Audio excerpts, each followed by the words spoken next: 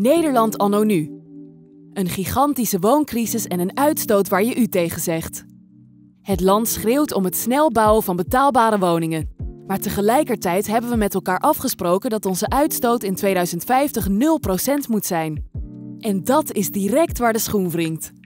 Op dit moment is de bouw namelijk verantwoordelijk voor maar liefst 40% van onze huidige uitstoot. De hoogste tijd om te kiezen voor een alternatieve manier van bouwen. Deze serie van de Volksbank neemt je mee in duurzaam wonen. Want hoe haalbaar is dat nou? En hoe kunnen we op een verantwoorde manier zoveel nieuwe huizen bouwen? In deze aflevering staan we stil bij duurzaam en biobased bouwen. Een nieuwe kijk op bouwen met duidelijke voordelen, toch?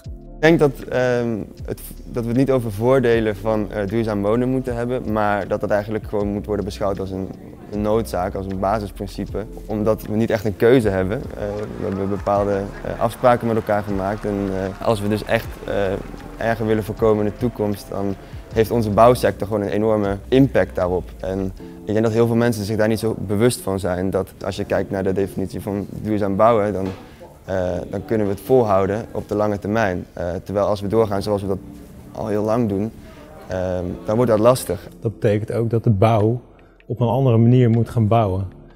Uh, dat betekent dus ook dat je niet meer met beton en staal in elke situatie kan gaan bouwen. Want daar komt CO2 bij vrij of andere broeikasgassen. Dus een grote stap die gemaakt moet worden is gebruik van nou ja, bijvoorbeeld biobased materialen, natuurlijke materialen waarin je juist CO2 vastlegt in het materiaal zelf in plaats van dat dat er bij vrijkomt. Uh, dus dat is een van de grote stappen die gedaan moet worden. Biobased woningen kan je heel mooi modulair bouwen. In in onderdelen of nou, misschien al volledig in de fabriek. Waarbij je ze dus ook heel snel op locatie kan neerzetten.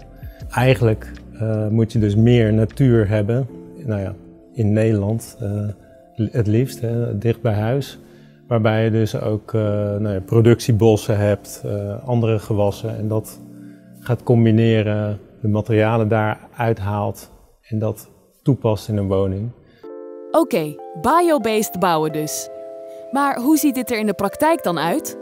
En kunnen we vanaf nu dan alles zomaar biobased bouwen? Ja, dat is een hele goede vraag. Kan je, kan je alles nu biobased gaan bouwen? Uh, kijk, biobased, uh, soms is het al heel concreet met een, met een houtconstructiebouw. Maar tegenwoordig kan je biobased woningen maken van nou ja, allerlei natuurlijke materialen. Uh, niet alleen hout, het kan ook kurk zijn, olifantengras, noem maar op. En daarnaast moet je ook kijken, uh, je hebt ook uh, bijvoorbeeld voor gevelmaterialen heb je bijvoorbeeld uh, houtvezelplaten. moet je kijken van wat, wat, voor, en er zit altijd een, bijvoorbeeld een lijm in. Welke lijm is dat dan? Nou, als dat goed is, is dat dan een, een, een duurzame op basis van een hars. Dat zijn allemaal dingen waar je heel goed naar moet kijken. En wat heel interessant is, is natuurlijk om donorgebouwen te, te maken. bijvoorbeeld als een gebouw gesloopt wordt, om daar materialen van te urban minen, zoals dat heet. Hmm, interessant. Donorgebouwen. Gebouwen die gesloopt worden, maar waar de materialen wel hergebruikt kunnen worden. Is dit dan dé oplossing voor duurzaam bouwen? Er is niet één oplossing, er zijn meerdere oplossingen. De ene keer gebruik je weer meer hergebruikte producten, de ene keer gebruik je het niet. Dan gebruik je weer uh, meer biobased isolatiematerialen. Ik denk met name dat het gewoon heel erg belangrijk is dat, dat, er, dat, dat het gedaan wordt, dat het wordt toegepast. Gelukkig zien we dat, dat ook wel gebeuren en dat is de enige manier om ook die transitie, die, die omslag te gaan maken. Er worden elke dag uh, woningen gerenoveerd. Er komen dus elke dag komen de materialen komen er beschikbaar. We moeten dat nu oppakken, want die komen vandaag beschikbaar. Ja, ik vind remontabel bouwen ook zeker belangrijk. Alleen daar pluk je pas over 50 jaar de vruchten van. Als je die materialen, als die woning klaar is en we moeten hem gaan demonteren, dan, dan is dat fijn, dan hebben we die materialen. Alleen we hebben nu de materialen uit sloop en nu de materialen die vrijkomen bij renovatie. En daar moeten we nu iets mee. Snel handelen dus. Maar is Nederland al wel klaar om die transitie te maken? Want dat betekent dat de hele keten aan boord moet zijn. Elke partij die betrokken is, van ontwerp tot oplevering. Kijk, we moeten er nog aan wennen. Uh, beton en staal, dat is nog de norm. Ook in, uh, in alle berekeningen wordt eigenlijk nog niet echt rekening gehouden met uh, biobased materialen. En zo wordt er eigenlijk nog geen rekening gehouden met CO2-opslag van materialen in in de milieuprestatie gebouwen. En je ziet dat daar nog uh, nou, zowel het gedachtegoed als de, de, de spelers in de markt, uh, wet en regelgeving, die zijn er allemaal nog niet helemaal op, uh, op afgestemd. Bijna elk bedrijf claimt nu duurzaamheid. En het is heel goed om te doorgronden wat is nou precies die duurzaamheid. Uh, ook, ook in architectuur. Dus het, sommige mensen denken alleen maar aan het energievraagstuk. Uh, gasloos, warmte uit de bodem halen. Nou, dat is allemaal heel goed, maar duurzaamheid gaat veel verder. Dus het, je hebt ook sociale duurzaamheid. dat mensen prettig kunnen wonen, dat je lang kan wonen. Dat is gewoon belangrijk om dat wel dag in dag uit daar ook weer een verbetering in te zoeken. Dus niet oké, we hebben nu een oplossing gevonden en dat, zal, dat zal wel goed zijn. Nee, continu kijken wij ook als bedrijf, zijn er meer partijen, zijn er fabrikanten die, die zeggen ook van hey, we nemen onze verantwoording in de producten die we hebben gemaakt in het verleden, of, of het nou van onszelf is of van een ander. Dan gaan we een, ook een recyclingsproces uh, in opstellen, zodat we van die oude materialen, als het dan toch kapot is of end of life, dat we, da, dat we dat toch als waarde schatten en daarmee weer hetzelfde product kunnen maken. Wij hebben zelf uh, afgelopen jaar gewerkt aan een methodiek om CO2-opslag in gebouwen te meten, te berekenen. En we moeten voorbeeldprojecten hebben, laten zien hoe het wel kan. En dat is precies wat studenten van de TU Eindhoven ook dachten. Laten zien hoe het wel kan. Team Virtue heeft met hun Ripple-concept het huis van de toekomst ontworpen. Biobased materialen, hergebruikte onderdelen, een modulair ontwerp dat kan meegroeien met de behoeften van de bewoner en niet onbelangrijk, het is tastbaar.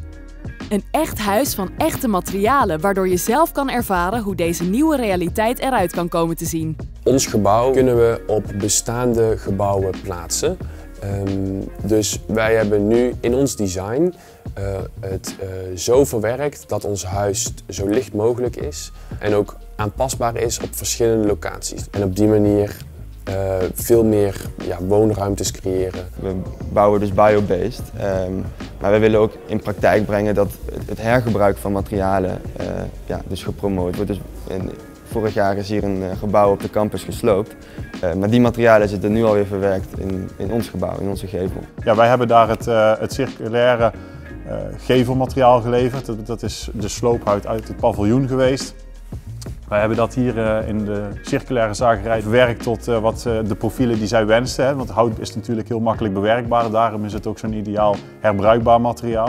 We hebben dat ook thermisch gemodificeerd. Dat is een methode ehm, waarbij het hout gebakken wordt, waardoor organismen, enzymen, beschimmels, bacteriën eigenlijk niet geen vat kunnen krijgen op het hout, waardoor het ook een hogere duurzaamheidsklasse krijgt en dus toegepast kan worden als buitengevelbekleding kunnen alles wel blijven weggooien en, en, uh, en laten verbranden. Uh, maar er is al zoveel energie ook ingestoken in al die materialen om dat te maken.